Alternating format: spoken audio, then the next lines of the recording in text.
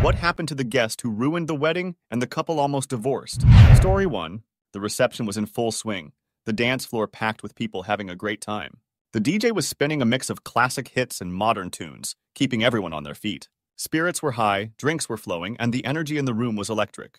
You could tell it was one of those nights where anything could happen. Out of nowhere, someone decided to kick things up a notch by recreating a scene from the classic comedy Animal House. If you've seen the movie, you'll know the moment I'm talking about. There's a scene where John Belushi's character, Bluto, screams, Turtle! on the dance floor and then throws himself down, lying on his back like a turtle stuck upside down. It's one of those ridiculous moments that only Animal House could pull off. And apparently, someone at this wedding thought it was the perfect time to bring it to life. It started with just one guy, probably a few drinks in, who suddenly yelled, Turtle! at the top of his lungs.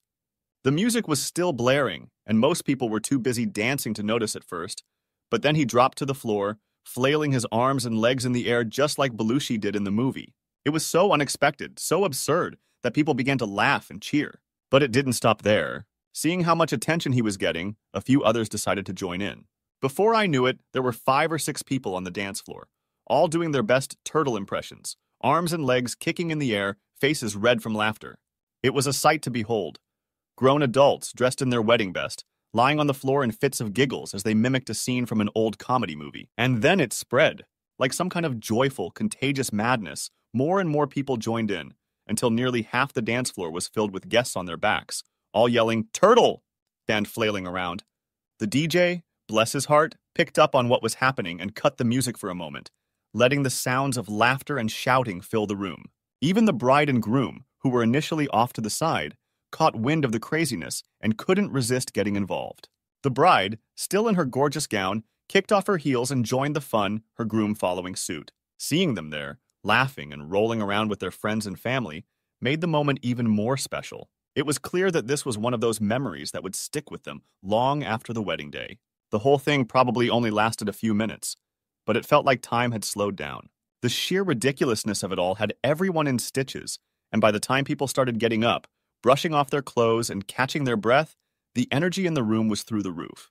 The DJ, ever the professional, took the cue and cranked the music back up, transitioning into a fast paced dance number that had everyone back on their feet, shaking off the silliness and getting back to the party. As the night went on, the turtle moment became the talk of the reception. People kept bringing it up, laughing about it, and joking that it should become a new wedding tradition. Even those who didn't join in had a blast watching the scene unfold, and the mood it set carried through the rest of the evening.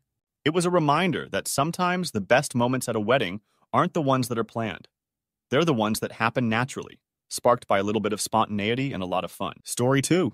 My mom had always been a bit of a wild card, but I hoped, maybe foolishly, that she would hold it together for my wedding day. That hope was dashed the moment she burst into the dressing room.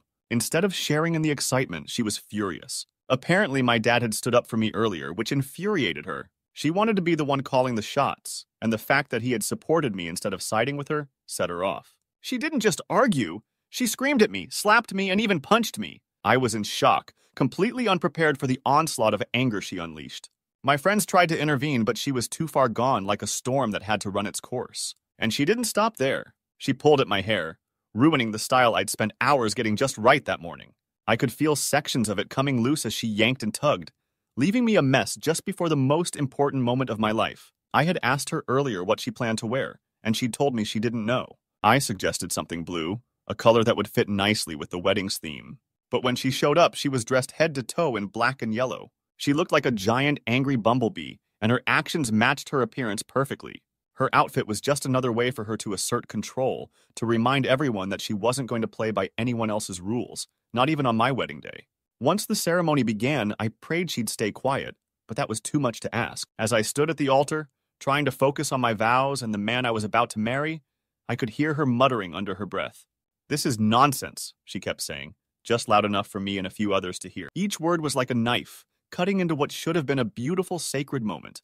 When it came time for pictures, she flat out refused to participate.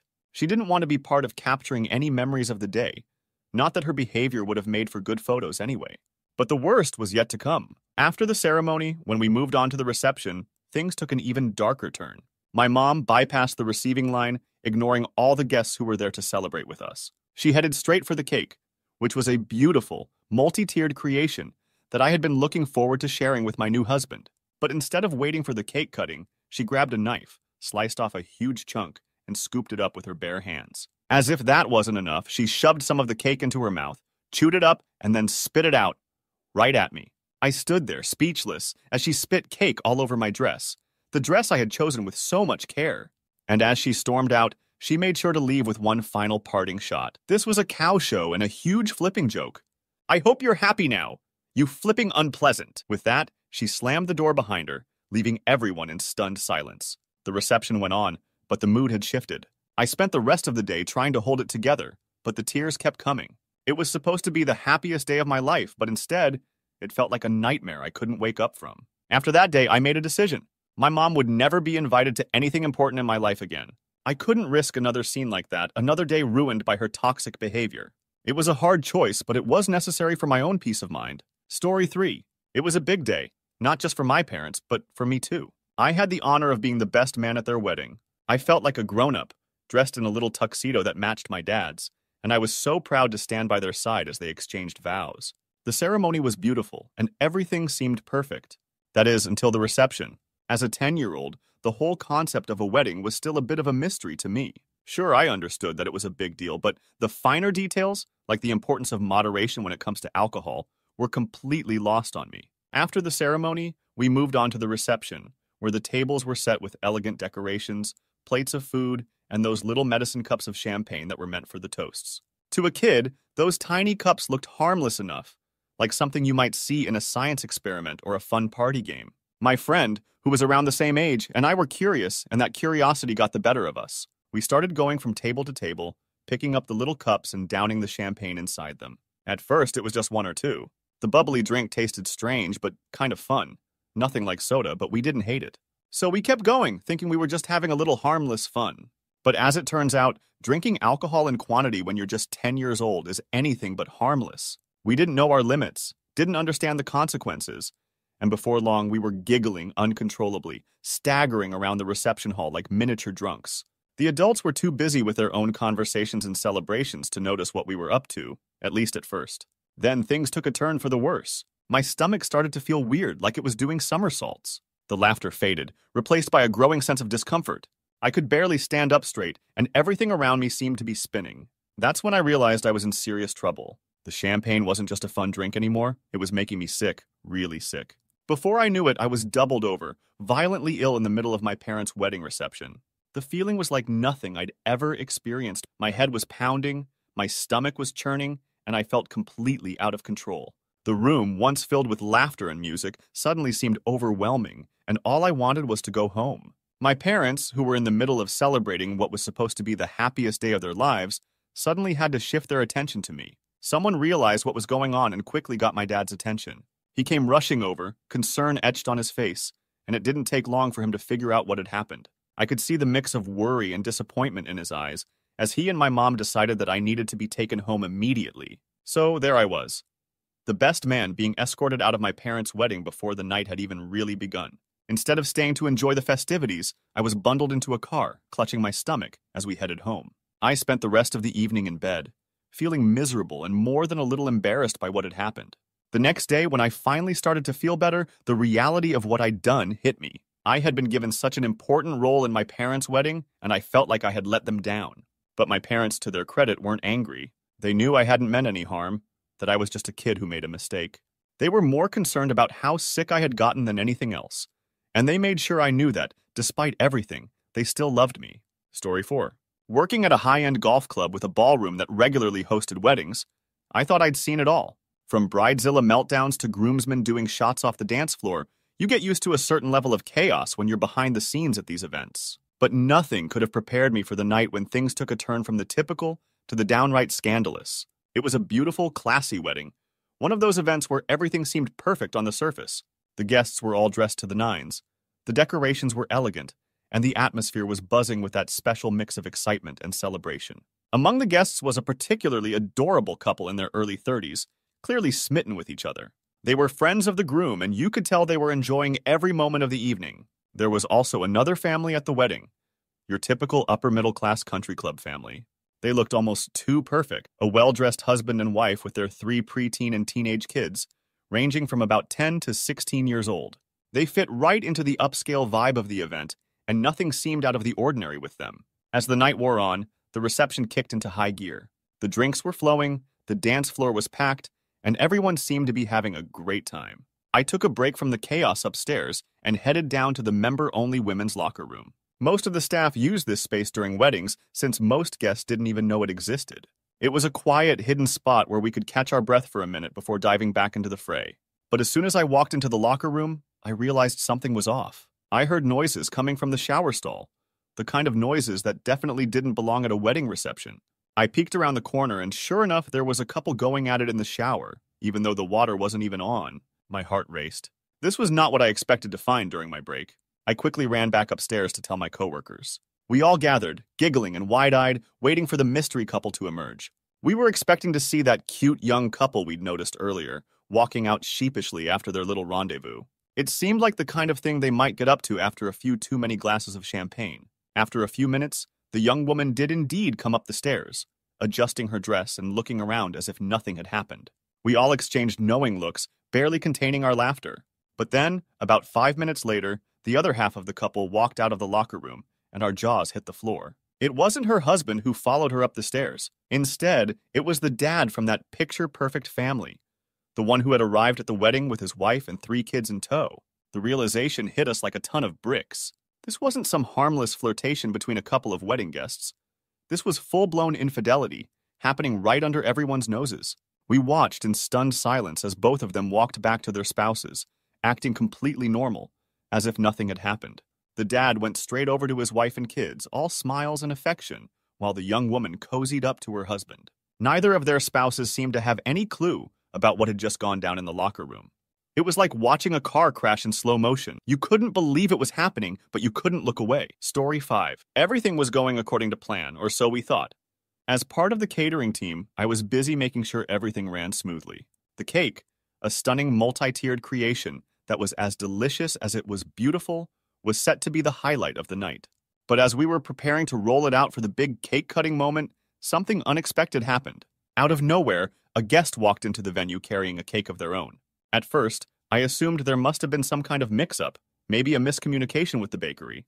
But then I noticed this cake was nothing like the elegant wedding cake we had waiting in the back.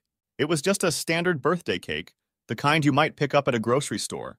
Brightly colored frosting, generic decorations, the whole nine yards. I watched in confusion as this guest set the cake down on a table and started gathering people around. Apparently, this guest had decided that the wedding was the perfect opportunity to celebrate a random guy's birthday, which was the next day. Now, I'm all for a good birthday party, but this was a wedding, a day dedicated to the couple and their love story. A birthday celebration was definitely not on the agenda, as the clock ticked closer to midnight, I saw the guest moving around the room, quietly spreading the word about the upcoming surprise. The bride and groom were busy with their guests, completely unaware of the side plot that was about to unfold. And then, right on cue, the guest signaled for everyone to gather around the random birthday cake.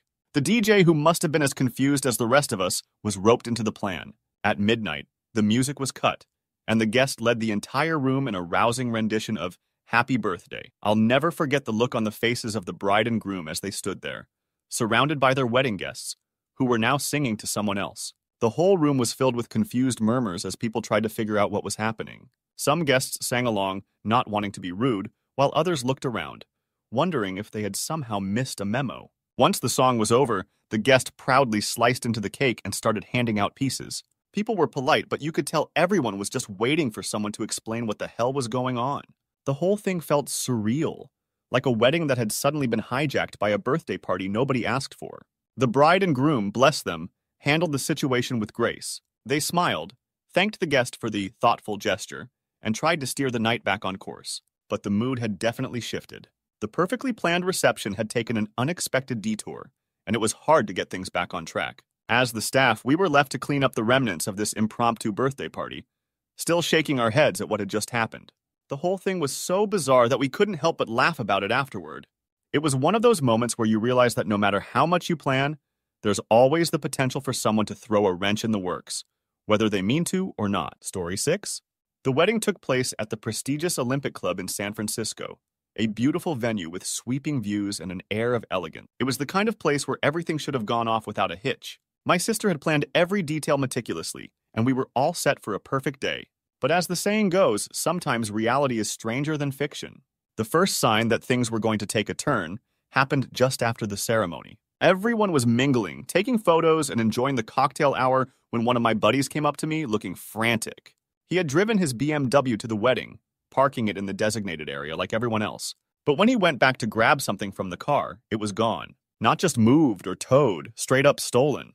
At first, we thought maybe it was a mistake, that someone had moved it as a prank, or that he had parked it somewhere else and just forgot. But after a frantic search around the parking lot, it became clear. Someone had taken his car, and they were long gone. To make matters worse, as we started to piece together what had happened, we realized that the culprit was likely another guest at the wedding. The guest list wasn't huge, but there were enough people there that it was hard to figure out who might have been responsible. It was one of those situations where you're so stunned that it takes a minute to process. This wasn't just a car, it was his pride and joy, a BMW that he'd worked hard to buy, and now it was speeding away somewhere on the streets of San Francisco, stolen right out from under our noses during what should have been a joyful celebration. While we were still reeling from the stolen BMW, another bit of chaos was unfolding on the other side of the venue. The Olympic Club is famous for its golf course, and naturally, there were golf carts parked around the grounds. These aren't just any golf carts. They're well maintained, expensive, and definitely not meant to be taken for a joyride. But one of the guests, apparently feeling adventurous, or maybe just drunk, decided that driving one of these golf carts off into the sunset was a great idea. We didn't realize what was happening at first. People were too busy with the reception, dancing and chatting, to notice that one of the golf carts was missing. It wasn't until someone spotted the cart tearing across the grounds that the full extent of the situation became clear. The guest, who clearly wasn't in his right mind, had taken the golf cart and was now attempting to drive it down Highway 1, one of the most famous and scenic highways in the country, but definitely not meant for golf carts. The image of a golf cart buzzing along a major highway, dodging traffic and trying to keep up with real cars, is one that's hard to forget. It was both hilarious and horrifying. Security quickly caught wind of what was happening and managed to intercept the guy before he got too far, but the damage was done. The guest was escorted back to the venue, looking sheepish but unapologetic, as if he had just been caught pulling a harmless prank. By the time the night was over, it felt like we had lived through some kind of bizarre, high society crime spree rather than a wedding. My buddy had to deal with filing a police report for his stolen BMW, which thankfully was eventually recovered, though not before it had been taken on a joyride and left in less than perfect condition. The guest who tried to steal the golf cart? Let's just say he was the talk of the night, with everyone sharing wide eyed, disbelieving stories about the guy who tried to take a golf cart onto Highway 1. Story 7. I witnessed one of those weddings during my time catering, and to this day I can't decide whether what happened was a total scumbag move or a stroke of genius. This particular wedding had a groom who was absolutely obsessed with every detail. He wasn't just involved in the planning, he practically took over the entire process. From the venue choice to the flowers to the color scheme, and even the tiny decorations that most people wouldn't think twice about, he had his hand in everything. The guy was a one man wedding machine, on the day of the wedding, he was there bright and early, personally decorating the venue. You could tell he was in his element, arranging centerpieces, hanging up lights, making sure every last detail was perfect. It was clear that this day meant the world to him. The bride, on the other hand, seemed much more laid back, almost too laid back. She showed up just before the ceremony started, looking like she was just going through the motions. While the groom was buzzing around making sure everything was just right, she was nowhere to be found until it was time to walk down the aisle. As I watched them interact, it became obvious that the groom was far more invested in this whole wedding than she was. It was like he was living out his dream wedding, while she was just along for the ride. The ceremony began, and everything seemed to be going smoothly. The groom was beaming, clearly thrilled to be marrying the love of his life. The officiant started the vows, the usual beautiful, heartfelt words that are supposed to mark the beginning of a couple's life together.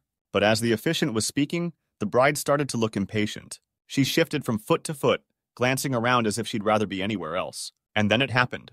In the middle of the officiant's speech, the bride rolled her eyes and cut him off, saying, Yeah, yeah, yeah, just marry us already. The way she said it didn't sound like she was too excited to wait, more like she was bored out of her mind and just wanted the whole thing to be over with. It wasn't a loving, playful interruption.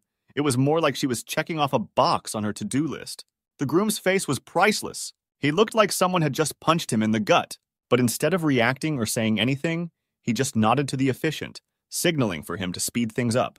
The officiant, clearly uncomfortable, hurried through the rest of the vows, and within minutes they were pronounced husband and wife. The bride let out a sigh of relief, like she'd just finished a long day at work, while the groom tried to plaster on a smile, though it was obvious he was hurting.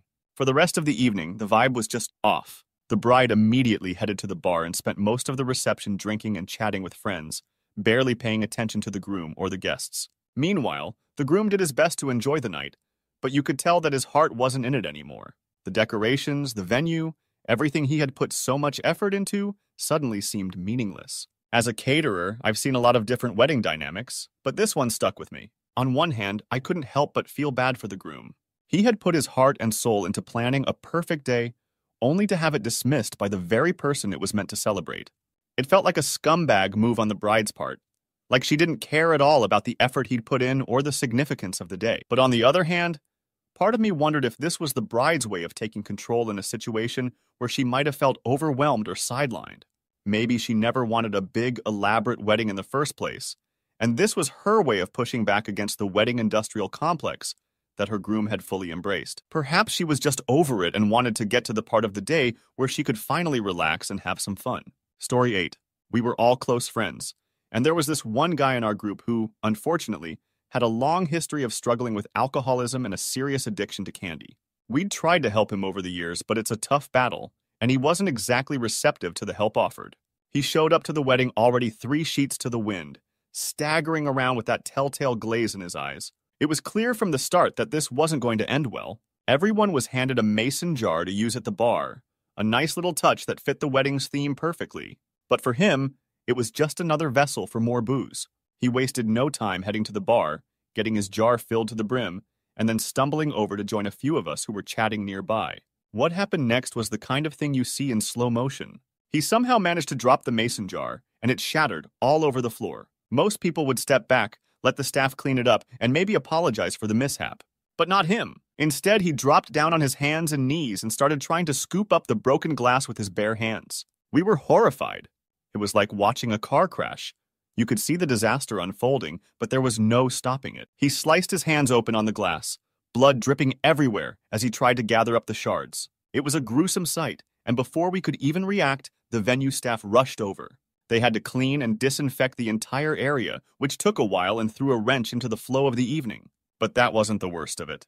The venue decided that enough was enough. Because of his actions, they made the call to stop serving alcohol for the rest of the night and removed all the glassware. People had been looking forward to letting loose and celebrating, but now the bar was closed early, and there was a noticeable shift in the atmosphere. All because of one guy who couldn't keep it together. After cleaning him up as best they could, the staff sat him down at a table and brought him a plate of food, hoping to sober him up a bit. For a moment, it seemed like things might settle down. But halfway through dinner, just as everyone was starting to relax again, he suddenly stood up. We all turned to see what was going on, and that's when we noticed the growing stain on his pants. The guy had pissed himself right there in the middle of the wedding reception. You could feel the collective sigh from everyone around as the reality of the situation set in. The night was officially derailed, and any chance of getting back to the festive mood was gone. They had to discreetly shuffle him out of the reception area, and the rest of us just tried to focus on salvaging what was left of the evening. Later, as we were leaving the wedding, we found him passed out in the bed of a friend's truck. He was sprawled out, dead to the world, with no idea of the chaos he'd caused. Strangely enough, by the time we found him, he had somehow managed to change into clean, dry clothes, free of blood and stains. To this day, none of us know where those clothes came from or how he managed to change into them while in such a state. But there he was, out cold, but surprisingly presentable. Story 9. The venue itself was, well, let's just say it wasn't your typical wedding spot. The bowling alley had that classic Midwest charm neon signs, the smell of greasy fries in the air, and the sound of balls crashing into pins echoing through the lanes. The ceremony was set up in a small, cordoned off area in the back, with a few rows of folding chairs for the guests and a makeshift altar against the wall. It was quirky, sure, but the couple seemed happy with it, and that's what mattered. As the ceremony began, there was a sense of quiet amusement among the guests. You could hear the occasional strike or spare being cheered on from the lanes just a few feet away, a constant reminder that we were in a bowling alley and not a traditional wedding venue. But despite the unusual setting, things were moving along smoothly, at least until the unexpected interrupt. Right in the middle of the vows, as the couple was staring into each other's eyes, promising to love and cherish one another, One of the guys in the crowd suddenly stood up. He didn't just stand up quietly either. He raised his voice, cutting through the solemn moment, and announced to everyone that someone on the lanes was close to bowling a perfect game, a 300. The room fell silent for a beat, with everyone trying to process what had just happened. The bride and groom looked at each other, clearly taken aback.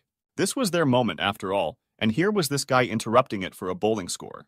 But instead of being upset, they exchanged a glance, shrugged, and then something incredible happened. Everyone got up and headed over to the lanes. The entire wedding party and all the guests paused the ceremony and made their way to the bowling alley, gathering around to watch this guy attempt his perfect game. There was an air of excitement, the kind you don't usually find at a wedding, as everyone held their breath and watched him line up his shot.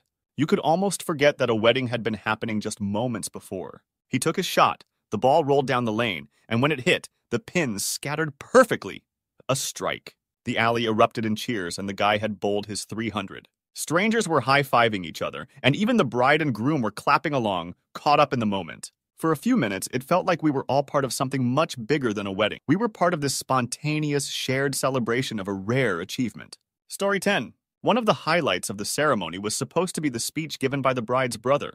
He had always been a bit quirky, so everyone was looking forward to hearing what he had to say. When it was his turn to speak, he walked up to the front with a confident smile, carrying a large handmade poster board. His friend stood beside him, holding it up for everyone to see. The poster board was decorated with what looked like a target, a series of concentric circles, each with removable Velcro pieces.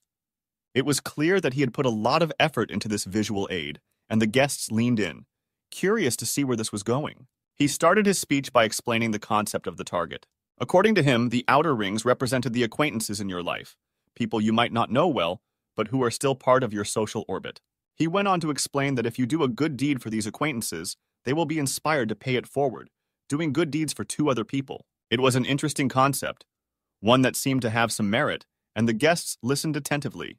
As he spoke, he removed the Velcro pieces from the outer rings, revealing the words underneath that matched what he was saying. He then moved on to the inner circles, which he explained represented your close friends and family, the people who mean the most to you. He said that any good deed done for these individuals would have a ripple effect, influencing 10 or more people in a positive way. Again, he peeled back the Velcro pieces to reveal the words beneath. It was a thoughtful message about the power of kindness and the importance of paying it forward. The problem was this was a wedding speech, and while the message was lovely, it had absolutely nothing to do with the bride and groom. As the minutes ticked by 5, 10, 15 it became increasingly clear that he wasn't going to mention them at all. He kept talking about the importance of kindness, the impact of our actions, and how we can make the world a better place by helping others. All the while, the couple stood there, smiling politely, but clearly wondering if he would ever get around to saying something about their marriage. The guests exchanged puzzled glances, trying to make sense of why this elaborate presentation was happening during a wedding ceremony. By the time he finished his speech, he had thoroughly explained his philosophy on paying it forward, removed all the Velcro pieces from the target, and wrapped up his presentation. But not once did he mention his sister or her new husband. There was no talk of their love story, no words of wisdom for their future together, and no acknowledgement of the special day they were celebrating. When he finally stepped down, there was a moment of awkward silence before the next part of the ceremony continued. The couple, ever gracious, didn't let it show that they were disappointed, but you could tell they were a bit taken aback by the unexpected detour their wedding had taken. The guests, on the other hand, were quietly buzzing about what they had just witnessed. Story 11. At first, it was just little things. My uncle's girlfriend was being more animated than usual, switching outfits with various guests throughout the night. One minute, she'd be wearing a simple dress, the next, she'd be in someone else's sequined gown, and then a few songs later, she'd show up in a completely different outfit again. It was bizarre, but in the whirlwind of the wedding, I just chalked it up to her being a bit eccentric and maybe trying to keep things lively. What I didn't realize at the time was that her antics went far beyond wardrobe changes. I found out later that she had been trying to hook up with various guests, both male and female, in the venue's restrooms. She was clearly out of control, and while most people tried to steer clear of her, she managed to make quite an impression on everyone she interacted with. As the night drew to a close, things took a turn for the worse. My uncle and his girlfriend, both well past the point of intoxication, started arguing. It wasn't just a quiet disagreement either. They were full on shouting at each other, causing quite a scene. When it was time to leave, she flat out refused to get into a car with my uncle. My dad, who's my uncle's brother, stepped in, trying to defuse the situation.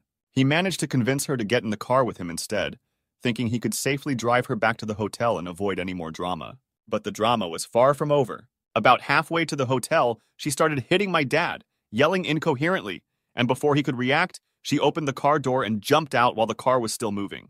Miraculously, she wasn't seriously hurt, but the situation had gone from bad to worse in the blink of an eye.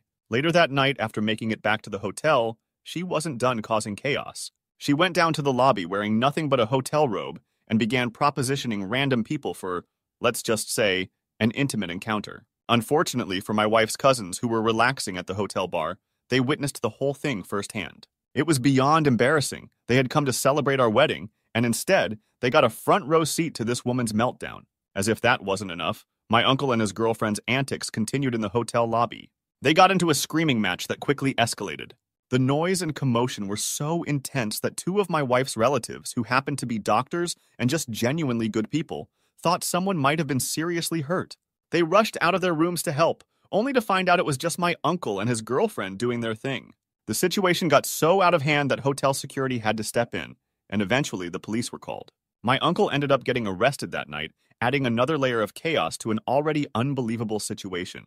To top it all off, their behavior led to them being banned from every Hilton hotel in the country. That's right. Hilton, a major hotel chain with locations all over the world, decided they were no longer welcome at any of their properties. It was the kind of outcome you'd expect from a wild bachelor party, not a wedding where two families were coming together. Story 12. Oh man, this wedding takes the cake. No pun intended. It wasn't just the guests who were a problem, the real issue was the bride herself. My husband's cousin, who shall remain nameless for reasons that'll become clear, was an absolute disaster from start to finish. The ceremony kicked off with what was supposed to be a heartfelt exchange of vows, but instead, we were subjected to half an hour of the bride airing out her grievances about her soon to be husband. Seriously, it was like she was listing reasons not to get married rather than pledging eternal love. It was one of those situations where everyone in the room was just cringing, silently praying for it to be over. You could practically feel the collective discomfort. People were shifting in their seats, glancing at each other like, is this really happening? But oh, it didn't end there. After that train wreck of vows, the bride decided to share a special moment with her dad. Now, traditionally, you might expect a father daughter dance, right? Not here.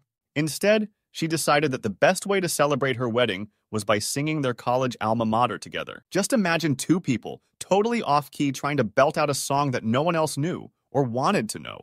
It was the kind of performance that made you want to crawl under the table from secondhand embarrassment. We're talking American Idol reject levels of bad.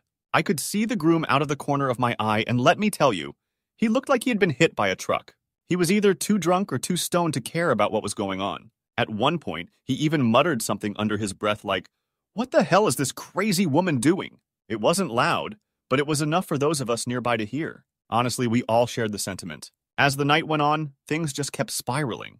The guests, including myself, started placing bets on whether the marriage would even survive the reception, let alone make it to the honeymoon. I wasn't even sure they'd managed to get out the door together. And then, in what I can only describe as the pièce de résistance, the bride decided it was time for a slideshow. Now, I'm not against a good photo montage, but this one? It was something else entirely. We were forced to sit through what felt like an eternity of a photo slideshow memorial. First, it started with pictures of deceased relatives, which was weird enough for a wedding. But then, oh, then came the construction photos. Yep, you heard me right. She made us all watch an hour long slideshow of her house being dirt, wood, drywall, paint colors, every excruciatingly boring detail you could imagine. There we were, dressed to the nines, sitting in our seats while she enthusiastically narrated each photo. And here's the foundation being poured. Oh, and here's the carpet we chose. It was like being trapped in some bizarre home improvement purgatory. We were all looking at each other, mouthing WTF, but no one dared to say anything out loud.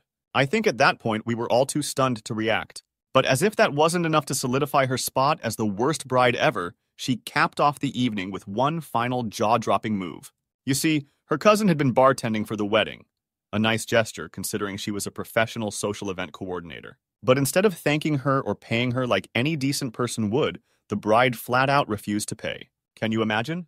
It's like hiring a photographer and then stiffing them at the end of the night. Classy, right? After that debacle, it's safe to say that we don't talk to her anymore. The whole thing was a train wreck from start to finish. And honestly, I'm still amazed the marriage lasted long enough for them to make it to the honeymoon. If I had to sum up the whole experience in one word, it would be awkward. Actually, make that cringeworthy. Story 13. My buddy's wedding was a real exercise in budgeting. Tight doesn't even begin to cover it. He and his fiancée had their hearts set on making it special, despite the financial constraints. The venue was spacious, big enough to invite a decent number of guests, but the cracks in the planning started to show pretty early on. See, they opted for a set menu dinner, which was fine in theory, but the problem was there just wasn't enough food to go around. Maybe it was poor planning. Maybe they underestimated the appetite of their guests, or maybe it was just one of those things where good intentions couldn't quite match reality.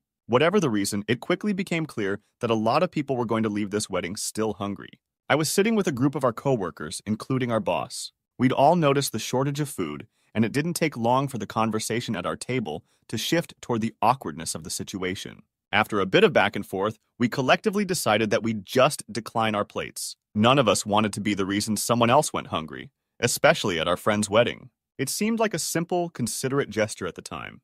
But of course, nothing is ever that simple, is it? Not long after we passed on our plates, the groom's aunt caught wind of what we'd done. Now, this woman was something else. Let's just say she wasn't exactly the picture of graciousness. She zeroed in on our decision like a hawk spotting prey and immediately started demanding that we hand over our plates to her and her kids. And here's the kicker they'd already been served. Every last one of them had a full meal. But apparently, that wasn't enough. She wanted seconds, and she wasn't shy about making it known. She marched right up to the groom's brother, who was doing his best to keep things running smoothly, and started laying into him. I couldn't hear every word, but the gist was clear enough. If they don't want their food, why can't we have it? My kids are still hungry, and it's not fair. She was loud, and the longer she went on, the more people started to notice the commotion. It was one of those situations where you can feel the tension in the air. The groom's brother tried to keep his cool, explaining that it wasn't as simple as just reallocating food. There were other guests to consider, and the kitchen was running low as it was. But she wasn't having any of it. What started as a low key wedding snafu quickly escalated into a full blown argument. The aunt just wouldn't back down. She kept insisting that if we didn't want our meals, she had every right to take them. And her tone? Let's just say it wasn't exactly polite. You could see the groom's brother's patience wearing thin as he tried to calm her down. But she was relentless. Meanwhile, the rest of us at the table were just sitting there, trying to avoid eye contact and not make the situation any worse. We were stuck in that awkward limbo where you want to help, but also really, really don't want to get involved. It felt like the argument dragged on forever, though it was probably only a few minutes in reality. Finally, the groom's brother managed to convince the aunt to back off, though not without her leaving in a huff, muttering under her breath about the injustice of it all. The atmosphere at the wedding, already strained, felt even more uncomfortable after that. The food shortage, the argument, the awkward tension, it all combined to make what should have been a joyous occasion feel anything but. Story 14. Now, I've been to my fair share of weddings, but this one definitely sticks out in my mind for all the wrong reasons. It wasn't the kind of outrageous fiasco you hear about with cake fights or drunken brawls, but it had its own special brand of cringe-worthy moments that left everyone in attendance shaking their heads. First, let me paint you a picture of the scene. It was a warm summer day, and everything seemed to be set up for a beautiful outdoor ceremony. The decorations were simple but elegant, with fresh flowers and delicate drapes swaying in the breeze. The bride looked absolutely stunning, glowing with that special kind of joy that only a wedding day. Guests were milling around, chatting, and waiting for the ceremony to start. It was all pretty standard, until the groom's stepmother made her grand entrance. Now, I've seen some bold outfit choices at weddings, but this one took the cake. She showed up in a mini skirted suit that looked like it had been plucked straight from a fashion magazine, if that magazine was from the 1980s. The suit was pristine white, as in bridal white, which is a big no no if you're not, you know, the bride. As if the miniskirt wasn't enough, she paired it with sky high heels that made her tower over everyone else, and a large brimmed hat complete with a tiny veil. The whole ensemble screamed, Look at me! in a way that made everyone do a double take. I could see people nudging each other, whispering, and trying to discreetly snap pictures. You could almost feel the collective wince when she walked by. But that wasn't the only thing that went wrong that day. The real kicker came when it was time for the ceremony to start. Or at least, when it should have started. We all gathered around, taking our seats, expecting the music to cue up any second. But instead, we just sat there. And sat, and sat. An hour went by, and people were starting to get restless, whispering among themselves, checking the time, and trying to figure out what the holdup was. Turns out, the officiant had completely forgotten he had a wedding to officiate that day. Yep, you heard that right. The guy was off at a barbecue, probably with a beer in one hand and a burger in the other, blissfully unaware that he was supposed to be marrying two people that afternoon. The groom, bless his heart, had to personally track the guy down. I can only imagine the conversation that took place. Something along the lines of, Hey, Remember that wedding you're supposed to be at right now? Finally, after what felt like an eternity, the officiant showed up, looking flustered and smelling faintly of smoke and grilled meat. He didn't exactly rush through the ceremony, but you could tell he was trying to make up for lost time. By then, though, the mood had already shifted. What was supposed to be a joyous, romantic occasion had turned into a bit of a farce. When the ceremony finally wrapped up, there was a sense of relief more than anything else. The bride and groom still looked happy, but you could tell they were a little deflated by everything that had gone wrong. The guests, for their part, seemed eager to get on with the reception, maybe in the hope that things would turn around. And as for the groom's stepmother, well, she continued to strut around in her miniskirt and heels, blissfully unaware, or maybe just unbothered, by the stir she'd caused. The bride, to her credit, kept her cool and didn't let it show if she was upset by the outfit. But there were more than a few sideways glances and raised eyebrows throughout the evening. Story 15. It all unraveled during the first dance, which, as you know, is supposed to be one of those romantic, tear jerking moments where the newlyweds share a private, intimate connection in front of all their guests. The music started, and the bride and groom swayed together, lost in each other's eyes, as everyone watched on, smiles plastered across their faces. But just as the magic of the moment began to settle in, the atmosphere suddenly shifted. Out of nowhere, the bride's ex boyfriend barged in, crashing the dance like something out of a bad dream. He didn't just awkwardly hover at the edge of the dance floor either. No, this guy went full drama mode. He pushed his way between the bride and groom, his eyes red and filled with a mix of desperation and heartbreak. You could practically hear the collective gasp from the guests. The bride froze, the groom looked like he was ready to punch someone, and the whole room tensed up, waiting to see what would happen next. For a few painfully long moments, no one moved. The ex stood there, visibly shaking, tears streaming down his face.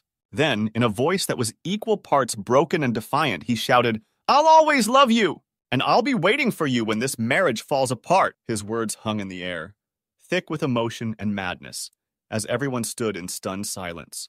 It was one of those moments where you could feel the tension crackling, like the air just before a storm.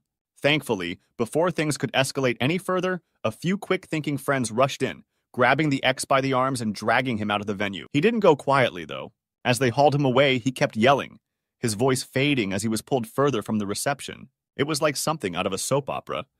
And the guests were left reeling, unsure whether to feel sorry for the guy or be furious at him for ruining the moment. But here's where the story takes its first twist. Several months into what everyone assumed was a happy marriage, the bride discovered that her new husband wasn't who he said he was. I'm not talking about a few little white lies here. This was some next level deception. It turned out that the groom was a full blown con artist. He had fake IDs with multiple aliases, a criminal record that stretched a mile long, and had been married more times than anyone could count, each time under a different name. He was living a double, or maybe even triple, life, and no one had any idea until it all came crashing down.